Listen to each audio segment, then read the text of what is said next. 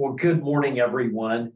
Thank you for joining us for today's session uh, honoring Black History Month. We have a really honored speaker today, someone I consider a longtime friend, someone I hold in very high regard. And um, we got to do a little warm up session before we began at 10 o'clock today. And we just, there was just so much energy vibrating between uh, Morgantown and Charleston that I, I can't wait to hear from our speaker. And I'm going to give her um, um, the introduction that she deserves because I think everyone who is participating and uh, watching this event will want to know um, a little bit about Meshea's background. So let me begin. We have today speaking Misha L. Poore, Esquire. She is the Vice President for Diversity, Equity, and Inclusion uh, at West Virginia University. But let me, let me give you a little more than that. Meshea is a longtime champion of underrepresented people. And in her role at West Virginia University, she carries the title of Vice President and Chief Diversity Officer for the West Virginia University Division of Diversity, Equity, and Inclusion. In that role, she motivates the entire Mountaineer family to recognize the value in diversity and challenges all who interact with her to create transformational change. Meshea, I'm waiting to be challenged today, so, so we'll get to that. But let's talk a little more about her background. Meshea's been helping light the way toward equity throughout her career. She is an attorney who served in the West Virginia House of Delegates from 2009 to 2014. She is also an accomplished and sought after motivational speaker, and she provides public and political uh, leadership in a consulting and strategy role. The Women's Campaign Fund named her a game changer during her campaign for the U.S. House of Representatives for West Virginia's previous second congressional district. She has mentored and consulted with hundreds of elected officials throughout the nation as they seek higher office. She's an experienced educator who served as an adjunct professor at West Virginia State University um, and as a faculty member in residence at the Center for American Women in Politics at Rutgers University and she has teaching privileges at the West Virginia University College of Law. In 2017, Meshea Poore became the first African American woman named president of the West Virginia State Bar since its 1947 founding. Prior to operating her own practice, she was an attorney in the office of the Kanawha County Public Defender in Charleston, West Virginia. She's an alumna of the prestigious German Marshall Memorial Fellowship, a member of the executive committee for the Council on Diversity, Equity, and Inclusion for the Association of Public and Land Grant Universities, and is president of the Big 12 Association of Diversity Officers in Higher Education. She earned her bachelor's degree from Howard University in Washington, D.C., and her law degree from Southern University Law Center in Baton Rouge, Louisiana. She also graduated from the Women's Campaign School at Yale University. Poore has recently facilitated insightful conversations with leading voices in social justice work, including Ibram X. Kendi, National Book Award winner and author of How to Be an Anti-Racist, Hannah-Jones, Pulitzer Prize winning reporter and creator of the landmark 1619 Project, and W. Kamau Bell, socio-political comedian and host of the Emmy Award-winning CNN docuseries United Shades of America. With that introduction, I'd like to just take the privilege of saying, Meshea, please introduce yourself for our audience share what first comes to mind as Black History Month winds up today. That's probably two questions in one. So you take it and go. I can't wait. well, first of all, thank you to each of you all for the invitation. To everyone who's participating live and those that will be watching the recording, I want to thank you for taking time to even be here today. I know you have a lot of things you could be doing, but you've taken a, an intentional effort to grow your knowledge base and to grow yourself. Um, I thank you for that amazing introduction. Thank you so much, Steve. What I will say to you is, you know, um, the different months that we celebrate, like Black History Month, are awareness months. And so Black history is American history. The reality is it doesn't end today. It lasts 365 days out of the year.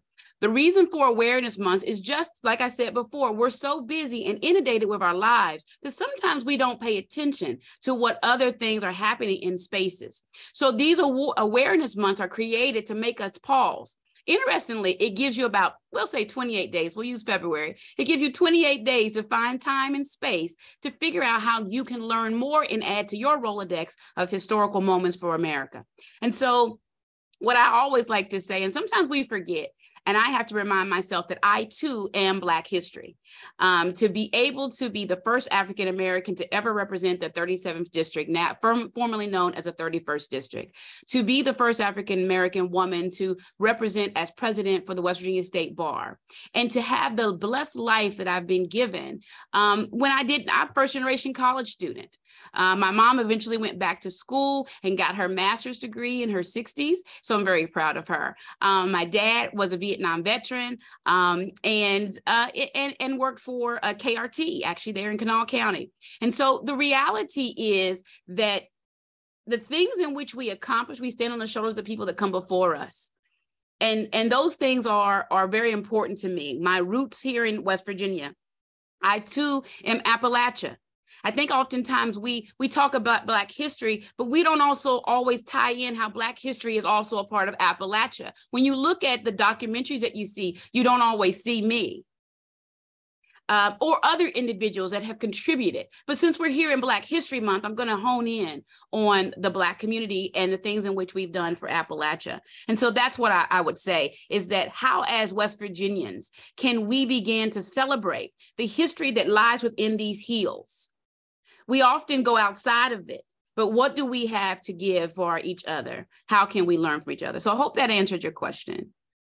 I love the answer, and um, maybe today is not the day for it, but uh, or maybe it is. But I'd love to open the door sometime to a discussion about West Virginia's role in the early days of statehood and and the, how we were a little bit different from some other places. We were different in that we were open to education for Black students. We, I think that's why we have such history with uh, Carter Woodson and Clinton Barnett and other uh, early uh, Black educators.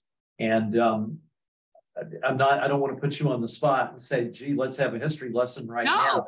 I mean, I think that you're absolutely right. Um, Booker T. Washington out of Malden, West Virginia, uh, and the work that he did there. Um, Niagara Falls, that that was here in you know in West Virginia. I do think it's important when we think about the movement of diversity. We talk about diversity, equity, inclusion. What role did West Virginia play in the creation of America, um, and how we looked at our history and how we stood up to say what we would stand for? Oftentimes, I would say to you, we allow individuals to place on them what they think West Virginia Virginia should be, versus us really digging into the roots, the foundation, and the history of what we have always been and pull out who we actually are. I think that's crucially important when you think about history and we begin to see, you know, we're, will eventually, I know, what you all do so well, um, making sure that West Virginia has a future, economically sound, that our children have a place and a space, as we would say.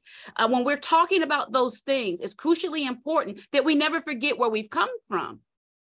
And sometimes that's rediscovering the, the advancement and the progression that we actually have had as it relates to embracing different communities, how we have actually seen each other for who we are and the value of who we are. When we think about the coal mining industry, and we talk about that often, we have a lot of pride in that of how it has grown some of our communities and how we're growing uh, in, in other ways in the state. But the reality is the coal mining industry brought in a lot of different communities and those things and those individuals and things in which they contribute to this state are to our history.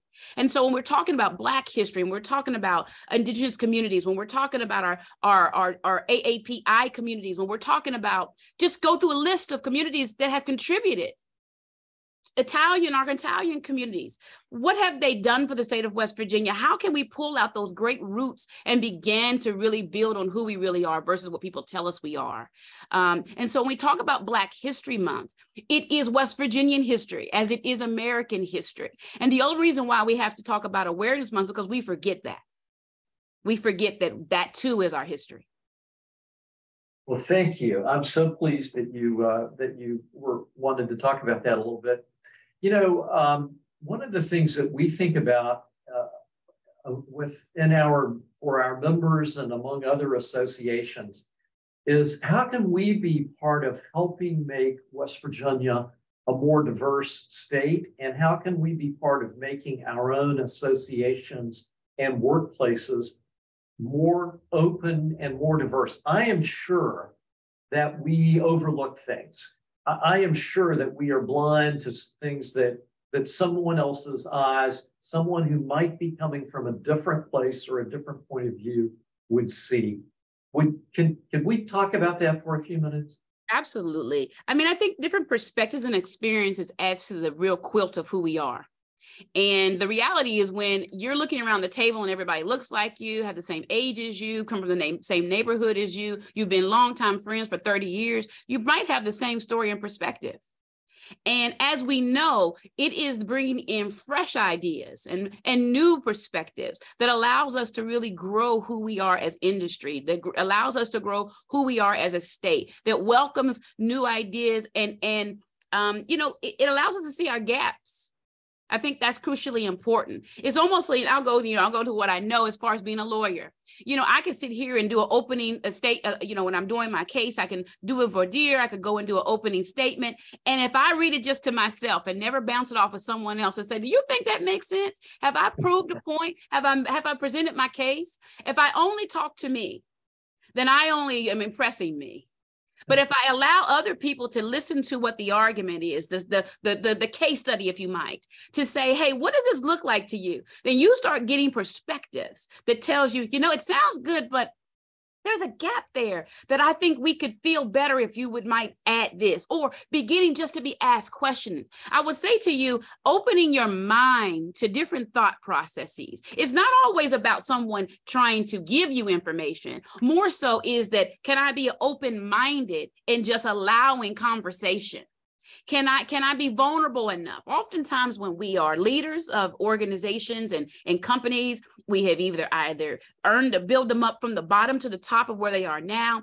We don't want anyone to really come in and show us a shortcoming that sometimes can feel weak to be vulnerable around a team of something you don't know because you're supposed to know everything.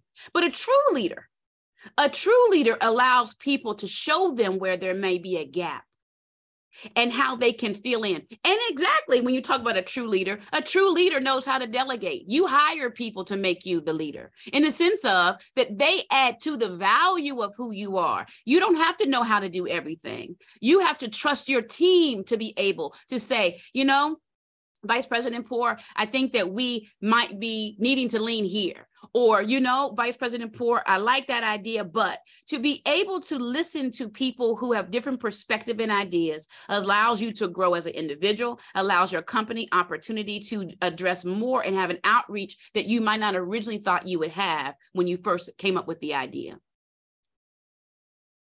I have to say, I bet no student has ever gone to sleep in your class. Uh, I, I, don't know if I can say that though. I, I, I, love your. Uh, I, love the fact that you opened the door and are talking about leadership and and what leadership really looks like and and acts like. Tell us a little. Uh, West Virginia University is one of our state's uh, shining uh, lights. Uh, you from West Virginia University provide leadership to our state in many ways. Tell us a little bit about what is happening at West Virginia University in the areas of diversity, equity, and inclusion. What, what are you proud of, and, and what can the rest of us learn from what you've been doing? Sure. So, I mean, West Virginia University is a land grant institution. And so our commitment goes beyond Morgantown. It goes beyond the surrounding area. It is to touch the state, but truthfully, it is to touch the globe. We are creating global ambassadors here. So when we educate people, we tell people often that when you come here, you're getting access to people who speak 150 uh, languages. You're getting someone from 55 different counties in the state of West Virginia. And so you really do have an opportunity to kind of do a tour of the world by just being here on campus. If you take that opportunity, you know, if you just want to sit in your classroom, if you just want to sit in your office, you never want to expose yourself to anything new, then you're going to get what you always got, the same story and maybe the same the same memories. But what we want people to do is grow. And so we try to allow them to have that opportunity. And those things are like diversity week. Diversity week is a week that we do every year. Um, we are now expanding it across our university system. So that's our Potomac campus, as well as our uh, Potomac State, as well as West Virginia Tech. Um, and what we do is we have we have conversations like speaker series. We do international street festival. We get to talk about different foods and cultures and ideas. Um, we allow people. We have something called Purpose Institute that is also happening here on campus. And what that does is allow people to to. Uh, we talk about leadership, and when we talk about diversity, I have to say I can't separate the two. To be a diverse, to be a leader means that you understand the concept of diversity that you understand that you have, you know, that there's some things you might need to grow in, but there's some things you can initiate as a leader that people listen to you for a reason and you use that authority and that voice to do so. We have first generation college students here. So we have a program that really embraces first generations to make sure that they're successful and pushes them uh, to the to matriculating out of the institution and hopefully going into uh, another degree. Um, we do trainings, of course, we do conversations and deep discussions about this. We have something called cultural autobiography that comes out of our office. All of us have a culture. All of us have something that makes up who we are. Often, when we talk about diversity, equity, inclusion, we have a way of thinking it's other. We provide difference. We, we, we see it as it's not us and so the reality is when you're talking about diversity, equity, inclusion, and we talk about cultural autobiography, we're asking people to find their self in this work because we're easy to push it off as someone else that should be doing it. And the reality is that each of us have a responsibility or should see ourselves as having a responsibility and accountability of diving deeper into how we can diversify whatever piece of the world we own. And that might be if that's your home, that you're you're a stay-at-home mom, if you are a stay-at-home dad, if you are someone who's a community member and you go to your church, if you are someone is at the legislature, if you're someone that owns a, a corporation and an industry, finding yourself in this work of diversity, equity, inclusion is what we start with here, but we push out throughout the university and throughout the throughout the state to say, hey, look, we all have a role to play here. We all want to make this state great. And so how to do that? We need to be inclusive. Wow, thank you so much. Well, how can students, parents, and attendees learn more about the diversity uh, recruitment initiatives uh, and programs that are being offered currently? So I will tell you, our Instagram is pretty hot. Um, if you wanted to look at our Instagram, we have something called Yappy Hour. I do want to talk about Yappy Hour. Yappy Hour actually came in the midst of COVID. So during the pandemic, our graduate assistants kept seeing, and you all might have experienced this too, puppies' tails going across the screen, or maybe a cat tail that went across the screen during the middle of a meeting. And we realized that people began to smile more when those incidents happened. So people might apologize. I'm so sorry for my cat Tom. I'm so sorry for my puppy Jim. But the reality was there was joy brought into the space. So we have worked with Hearts of Gold, which is one of our, our service uh, uh, programs that, uh, that trains dogs to go in and do just that care for people give them joy provide space into their into the place. So when we talk about diversity it's not always have to be a heavy discussion. That's mental health. That's ability to be able to walk into your classroom and be whole for a moment because some people are dealing with things we can't always see. And so when we're talking about families and students and things like that finding themselves in some of these activities like a yappy hour which we do throughout the whole entire year that list is up. They can just go pet a puppy for an hour We also give out succulents, which we call, you know, we, you know, we tell them, you know, thank you for helping me grow. And we put a little stick in there and have them pay attention to something other than maybe just they're, they're taking their midterms. So what I would say to parents, we have a parents uh, uh, group and there's a magazine and a newsletter that goes out. Pay attention to those activities and let your student know that that's happening. Unfortunately, our students don't always read their emails. They don't always look at, at, at the, the notifications. So maybe you as a parent can get that information to them. We have websites that are always listing activities and events. Um, and we push out as much publication as we can um, uh, to, to ensure that people are seeing uh, the work that we're doing. And I want to backtrack to the question that you asked me earlier about organizations and what they can do. And I talked a little bit about finding themselves an individual as a leader, how they can do it, but also what's your messaging and how are you marketing your intent? I want to make sure that we talk about that because you really do send a message. We know this. When you do publications, when you do your ads, you spend a whole lot of time on websites. You do a whole lot of time on logos and the imageries, the polo shirts you wear out to the golfing activity. When you have a, a, a function or a reception, the lay of how you do things. Well, what's your message? to your constituency, your community, as to where you stand with diversity, equity, inclusion work. What's your outreach in communities? Are you there only during Black History Month? Are you there throughout the whole entire year? Because I guarantee you, the communities need you throughout the whole entire year. Um, are you are you there as a sponsor for one event? Are you there as an actual networking tool a mentor or someone that's willing to work with organizations that are programming that really can get into the hearts and minds of individuals in the community? So what are the things that you're doing for messaging marketing and community engagement crucially important as it relates to diversity equity inclusion but most importantly what are you individually taking yourself and owning some responsibility of how you want to grow yourself not just in the month of february but throughout the whole entire year so many good ideas already.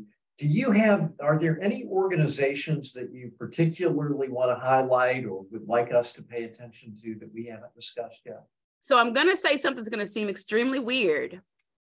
But when I was growing up in Charleston, one of my favorite places to go, which has been newly renovated, that I actually have not had a chance to visit yet, is the Kanawha County Public Library. Okay. And I know that we have Google, and I know that there's a lot of access, and I know they have an online uh, a database that you can actually pull from. I'm, I, I know I can talk about a lot of different groups right now, but what I want people to really be responsible for is their individual growth. Because if I can't help people find empathy in other communities or for other individuals, then the, the, then the business study, I can give you the business model all day. But if I cannot talk to you as a person, meeting you where you are, allowing you to say, hey, in your time, in your comfort, find something that interests you.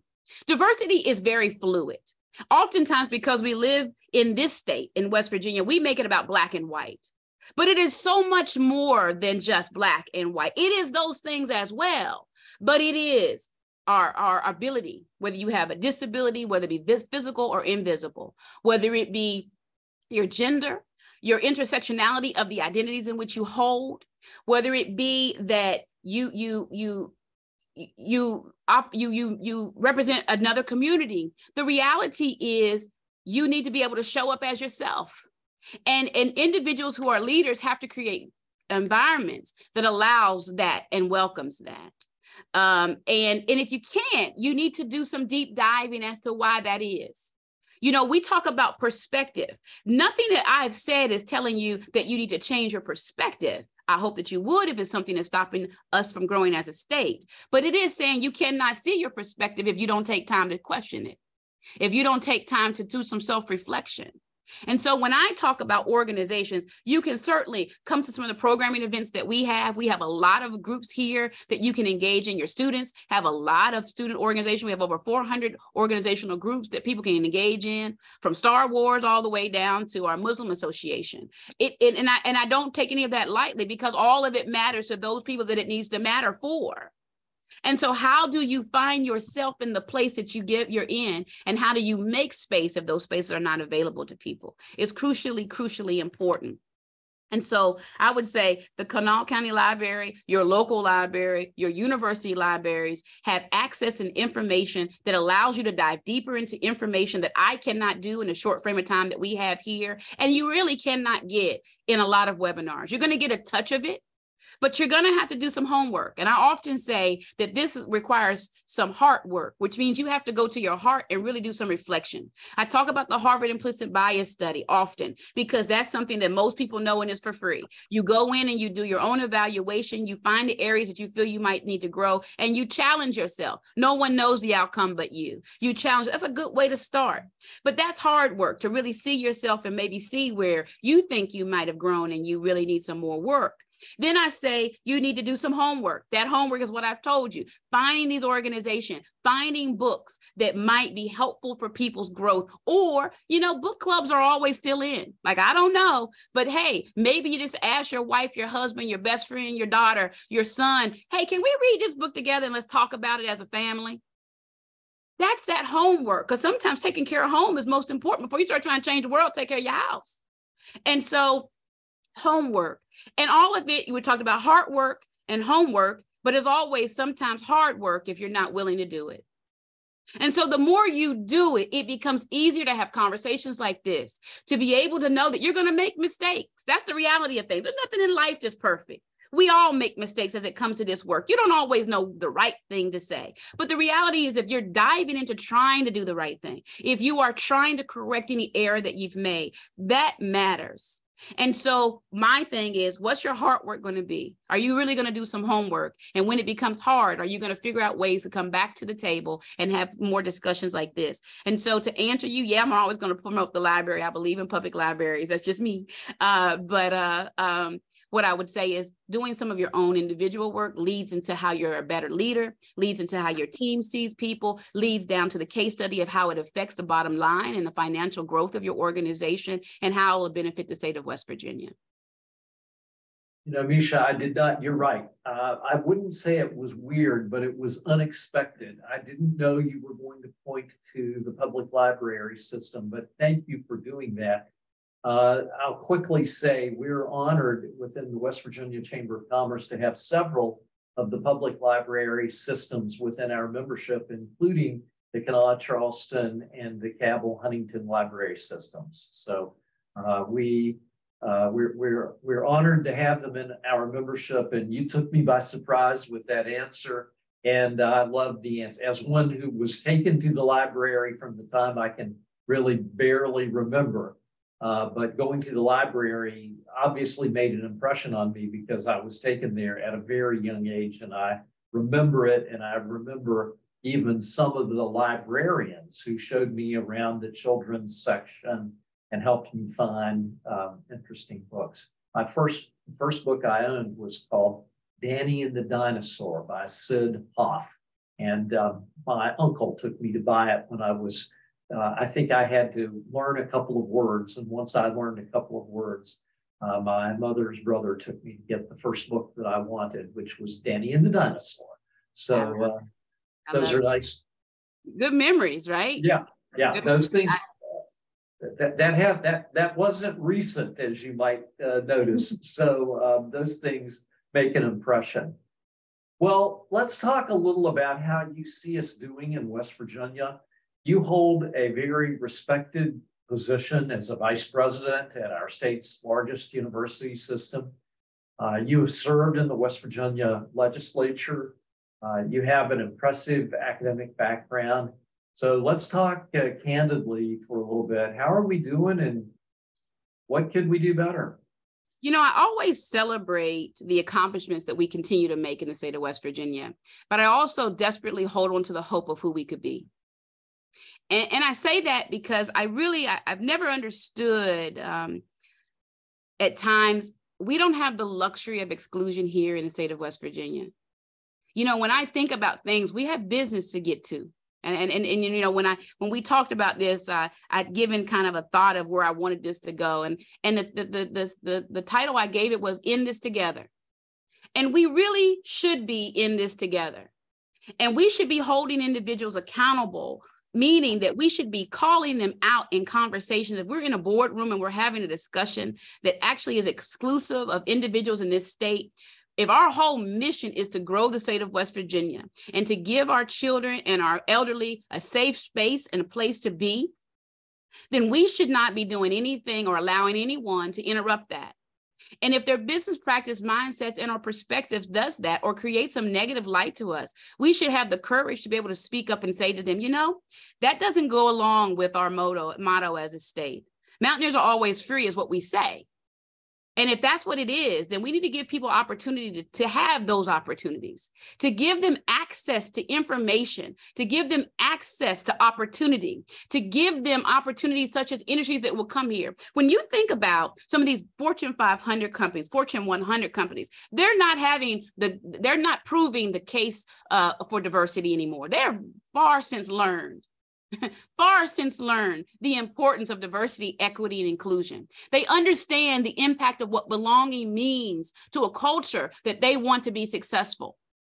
Procter and Gamble. Procter and Gamble has a beautiful campaign as it relates to diversity, equity, and inclusion. And it's not something they do just during diversity, I mean, during uh, February. They do this throughout the whole entire year. They're committed to it. McDonald's also is an organization that does not look at one month over another. Now they highlight it, they give awareness to, but they also have invested in community outreach. You can go through a litany of group uh, of, of organizations and companies. And so when I know about you all and the work that the chamber does, we're always trying to attract businesses to the state. And what they do is they look at the tone of the state they look at the things that we say and the things that we do, and they determine can we bring a workforce and make them understand the importance of how they can add to the culture of West Virginia? And can West Virginia add to the culture of our company?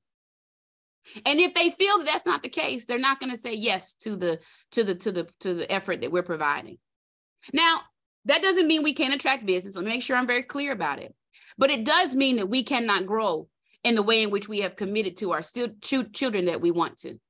That's what it means. When we talk about brain drain and those conversations, what are people leaving the state for? What are they leaving? Are we asking those questions? Do people feel like they're being seen here? Do they feel as though they can be their full self authentically? Do they feel like they have opportunity and access to things across the state, not just in the capital city, not just in Huntington, not where there's just big campuses, but can they find themselves throughout? Do rural West Virginians feel as though they're being seen and heard? I can go through the different groups that we have here in the state of West Virginia, but the reality is, are we ourselves, when we're talking about economic development, being diverse in how we're approaching this? And do we really have an intent? Are we just doing business as we always have done it? And I say to you before, I said, I desperately hold on to the hope of who we can be because I always get excited about that. I have this bubble of optimism that I live in, and I stay away from sharp objects occasionally where it doesn't get bust. My little, my little hope doesn't get burst, but uh, I push up against the edge of that. That regardless, because I, I never lose hope in who we can be. And that's why I do the work I do. That's why I've done the things I've done in the past, because I always see the better of who we are versus sometimes how we present ourselves. And I'd also say that we have to define who we're going to be. I've said that earlier when I talked about it, because all of us, no matter where you've come from, if you're here in the state of West Virginia, you're home. Doesn't matter how long you've been here. I hope you're feeling that you're home. It's our responsibility to make you feel like you're home. Um, and so if, if that's the case, then we have to make sure that we're keeping those individuals that we're saying we want to call home here and hearing from them and their perspectives and things that they need. You know things that they need the grocery stores. It's not always just about how do you have the conversation but what are some of the things the grocery stores in certain communities? You know we can go through a litany of those discussions but and again we have short time i don't want to go too deep but but but there's ways in which we can really um, find each other in the work of diversity if we allow ourselves that opportunity. Diversity, equity, inclusion is crucial for the growth of West Virginia. It's crucial for our children. And it is crucial for how we as a, as a state will actually make a global impact. And so I think that um, I, I, I continue to hold hope for where we can go. You're going to be fantastic as a speaker at the upcoming Women's Leadership Summit on March 29th and 30th of this year. You are going to be fantastic. So thank you for agreeing to do that. And we really look forward to seeing you again. I'm going to ask Kaylin George if um, she has any questions in the chat or anything that she wants to use in wrapping up. We have promised the people who participate um, that we will hold this to 30 minutes or so. We're kind of at the or so period. So let me jump over to Kaylin for a minute. Thanks, Steve. And thank you so much, Meshea, for your time today. Um, and listeners, the audience members, if you do have any questions, please just leave them in the Q&A. We might have time for one or two. I know I myself have a couple questions um, as others might be thinking of some. Um, the first one is just I know that you have spoken about you know carrying this these messages throughout the year. Can you give us some examples? How can people listening today carry these messages and what you've said throughout the rest of the year? So I had the pleasure of actually speaking to a law school class yesterday, and one of the books that we were reading from was Lawyers as Leaders. And um, in, in that discussion, we, we, we talked about the impact on the legal profession. And even though there's second and third years, my charge to them is how will you begin to have this discussion about diversity right now when you're taking interviews as you're going into this space? You know we we forget sometimes that we're not just giving an opportunity for employment but people are actually getting a gift and talent from the individual that's coming in. But how will you ask them the efforts of what they're doing toward diversity equity inclusion just in your interviewing process? What's your courage look like to ask that? How they will contribute to your growth professional development. And so to answer you i mean i would say to you what will you be doing throughout the year to make sure you are not only one doing your homework and and making sure you're paying attention to how you can grow but how will you in the the space that you're given advance the conversation of diversity equity and inclusion. But not just have a conversation because I've told you before we have things to do we have business to get to. And so what's the action steps that you'll make? If you're planning a program and you know that's set out what are what's it look like as it relates to diversity in that conversation? Is that something you can bring to the forefront is is you know if you are having a, a, a, you know you you're part of and I use this as you know people are part of book clubs you learn a lot I mean I don't shortchange what a book is I got a great library my thing is what's your what's your look what's your I call Rolodex but what does your your catalog look like what's your what's the diversity of your book club you know what are you talking about um, what's some of your movie selections? These are easy things. I'm being very honest about it. it's easy things, but sometimes may be very hard because people have never thought of it before. And so uh, what are some webinars you can actually attend? You know, all of our schools, West Virginia State University, West Virginia University, Marshall, Glenville State, Wesleyan, all of these schools have programming. All of them have some level of engagement. So no matter what county you live in, you can actually make yourself available to go to some of those programs and expand yourself to see exactly how you might be able to to to grow from there too. So how are you how are you using the space that you're given the authority that you're given and and and moving in those ways to to to to move forward with the diversity equity and inclusion that will benefit the state of west virginia? It's more than just us. And i think that's the thing when i say we're in this together we're in this together. When you grow kaylin i grow. When steve grows and kathy grows i grow. And when i grow you grow and when we start seeing it separately, that's when we have, we have the problems. But when we start seeing it gives us an opportunity to really grow as a community, to grow as a state, because we're one West Virginia. And we need to be really focused on how we we add to that conversation. Thank you so much. And I, I really love your message of in this together. It really um, puts everything into perspective. And with that, um, do you have any closing thoughts for us or food for thought um, as we wrap up? I mean, I think I've shared some, some, hopefully some good gems with you today. But what I would say to you is, you know, like I've talked to you before, and and and uh, Kaylin has said, in this together. I want you to really understand that when I do well, you do well. When I'm suffering, you're suffering, or you should be. Because no West Virginian should ever be feeling as though they're not safe. No West Virginian should ever feel they can't be authentic when we talk about diversity and inclusion it's very fluid and i oftentimes when people forget that you know, I take on every perspective and celebrate that. Even if it's something I don't agree with, I have to give space to it because those voices matter. But because I've given people an opportunity to be heard, they'll hear me as well.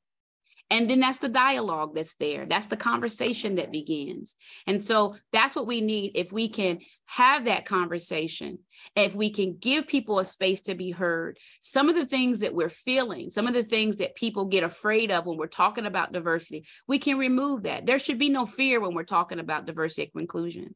There should be no fear. There should be a celebration of growth. There should be the added effort of how we can grow our state it should see me and you in this work. and we should be able to truly be in this together.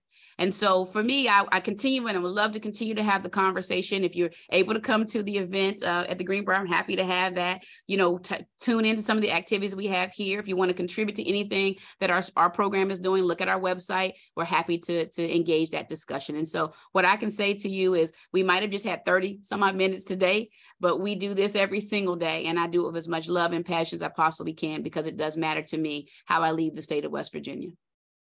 Well, thank you so much uh, for your insight, your insight, and your inspirational words. Uh, we do have not a question from the audience, um, but a comment that we also agree with um, from our case. It's not a question, but Meshea is a rock star, and we're lucky she's in our state. And we, of course, feel the same way too. Thank you so much for your time today. We're very much looking forward to your discussion at the Women's Leadership Summit later this month, um, and we we appreciate you. Thank you. But thank you. And thank you, Mark, for that comment. I really do appreciate that. Thank you so much. Thank Vice you. This, thank you. Thank you. Thank you. Thanks. You have a beautiful day. You too. Thank you so much. Thank Bye -bye. you.